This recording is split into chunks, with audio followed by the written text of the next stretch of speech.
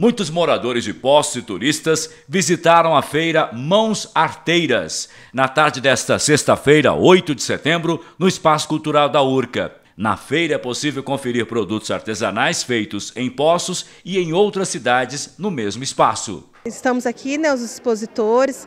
Estou feliz de ver que tem o pessoal aqui trazendo o seu trabalho, o trabalho manual, o artesanato. Isso faz com que nosso trabalho seja valorizado aqui na cidade e também para os turistas que estão conhecendo aqui Posto de Calça, estão vindo passear. Aproveito para conhecer nosso trabalho também. A gente tem o cantele, né, que é um instrumento de corda, né, também muito usado para iniciação musical, né, de crianças, né, a musicalização né? Geralmente são afinados em escalas pentatônicas, né? para ir familiarizando com a, com a música, né? as escalas. Esse daqui é o tongpan, é, é um instrumento meio raro ainda no, no Brasil, são poucos fabricantes, eu sou um deles. São instrumentos que, como ele já tem a escala musical formada, ele possibilita de qualquer pessoa poder tocar um instrumento, não precisa ter conhecimento de música, e da mesma forma ele vai estar fazendo uma, uma meditação musical, fazendo a terapia. A principal finalidade dele é fazer musicoterapia. Aquela pessoa que não consegue se concentrar, às vezes numa respiração, na meditação, ela vai se concentrar é, no momento que ela está criando melodias né, através desse instrumento.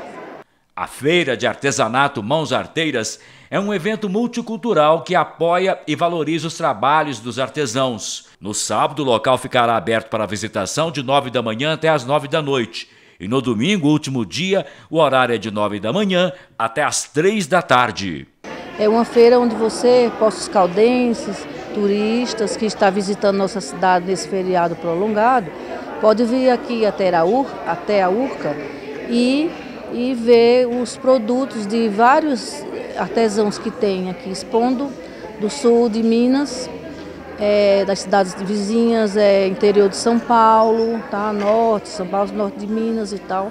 Tem várias cidades prestigiando aqui o trabalho deles. Né? Compramos algumas bijuterias, tem muitas outras coisas que não vimos todos ainda. É a segunda vez que nós estamos vindo aqui, viemos ontem, retornamos hoje. É, gostamos dos produtos naturais, né, do, dos produtos artesanais.